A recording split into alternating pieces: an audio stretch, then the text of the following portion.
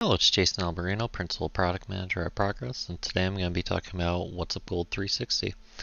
So I'm starting on docs.progress.com where the documentation is uh, to walk you through some of these use cases here. So on the WhatsUp Gold tile, I'm going to go over to WhatsUp Gold 360, get started with WhatsUp Gold 360, and you'll see right here uh, kind of the use cases we're going to be talking about today. Internet connection monitoring, uh, which gives you proactive heartbeat monitoring for hypervisors and reliable critical notifications. We'll also be talking about some of the beta functionality we've been working on where you can sync your WhatsUp Gold information over to the cloud. Uh, without further ado, we're going to get right into the product. So how do you actually achieve this is the question. Well, first you have to deploy what we call a connector under infrastructure and then connectors here. I'm going to say add and then connector.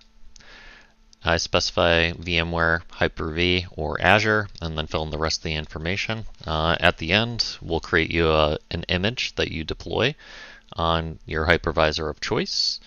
Once you deploy that image and turn it on, it connects back to the cloud here and it becomes reachable. Uh, from there, we're also doing ping and trace routes periodically from that virtual appliance, in addition to the heartbeat monitoring we're doing. So you get some additional information about that. Uh, you'll see some connection stats here for each one of the uh, connectors I have deployed. You can also look at you know specific connectors or look at trace route information for multiple or specific ones. And you see that periodic trace route that it's doing. It keeps track of everything, each individual hop, what the min, max, and average was. And it stores that uh, for up to 30 days at this point in time.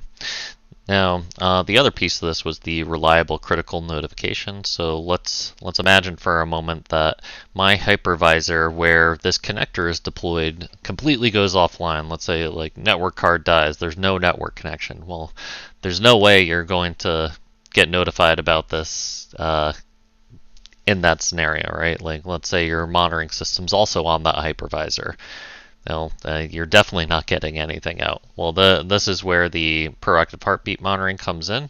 You're able to go set up what we call a communication channel, either email or SMS, and according to the rules you set, it will then message you about that information. So um, this one I already have set up. You see you can filter and say specific sites or connectors specific days or uh, specific operating hours. But it's a direct phone number right within here for the SMS. Email uh, is very similar. You just add the email and that's it. So that kind of covers the first use case. Um, again, just recapping, you deploy the small virtual appliance within your environment. We're able to get some additional connection information periodically as well as alert if we're ever not able to uh, reach the virtual appliance. Now I'm going to start talking about some of the beta functionality, so please keep in mind that this functionality is not yet available publicly. Um, we do have a beta program available through our customer validation program. You can read about that more at whatsupgold.com slash CVP. So once I have this connector deployed in my environment, I'm able to then uh, start syncing these WhatsUp Gold servers. So I'll go add WhatsUp Gold you specify which connector you want to initiate the connection from. So this is basically saying, well, which one should talk to your WhatsUp Gold system or systems. And then on the next page, it's just uh, giving it a name and then filling in the proper information to connect to the system. Once you're done providing that, it will do its initial sync and then it will sync every 60 seconds after that, as well as uh, when there are changes on devices. So you see all these say they're connected. Well, now I can see my devices uh, right from the cloud, portal.whatsupgold.com. You don't have to worry about uh, opening your WhatsUp Gold server up to the internet or uh, you know having to be on uh, LAN or WAN or VPN in order to connect and see your information. So since this is on portal.whatsupgold.com, as long as you have a web browser, you should be able to log in and get that information. And you see it shows me everything from each one of those connectors as well as individual WhatsUp Gold systems. Uh, really, you can see the data any way you choose. And you see I can select between different WhatsUp Gold systems. I can select the connector itself. Um, I could also look at individual groups uh, on individual WhatsUp Gold servers, or I could just look at everything. In addition to that, there's some advanced filtering capabilities to make it easier to get the data you're looking for. As you can see, there's a search here, but there's also filters. And you see I can look at uh, many different aspects of the device and filter based on that. Uh, for example's sake, I've already set up some saved views. So let's say I wanted to uh, create some filters here and recall them later. I can very easily do so. So I just made this filter.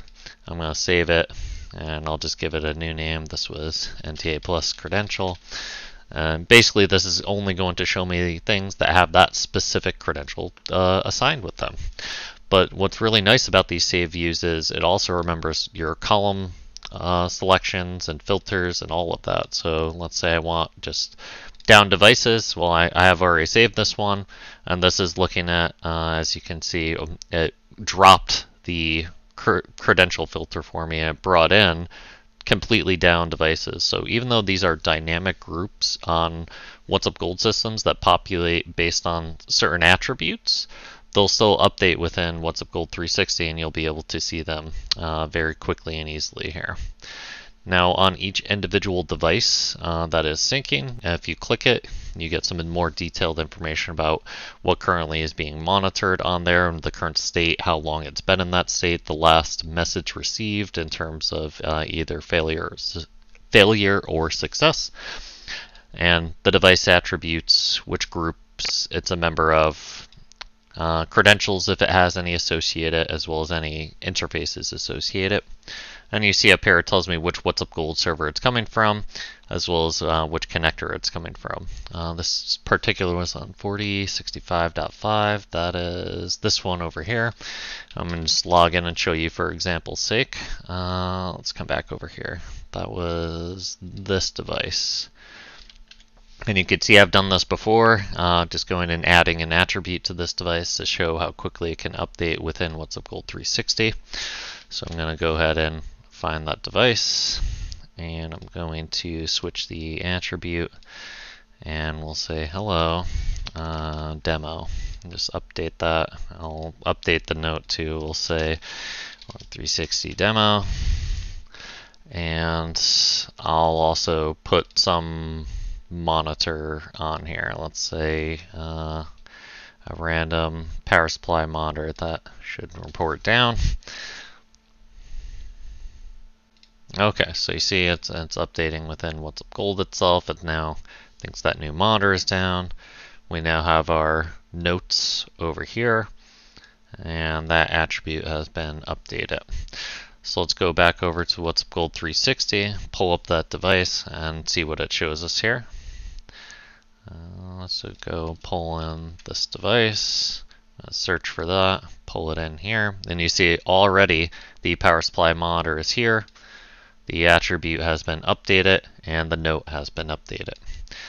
Okay, uh, hopefully uh, everyone finds this helpful. Please let me know if there's any questions at the end. Very glad to uh, discuss the technologies behind this or any uh, sort of use cases anyone has. Thank you.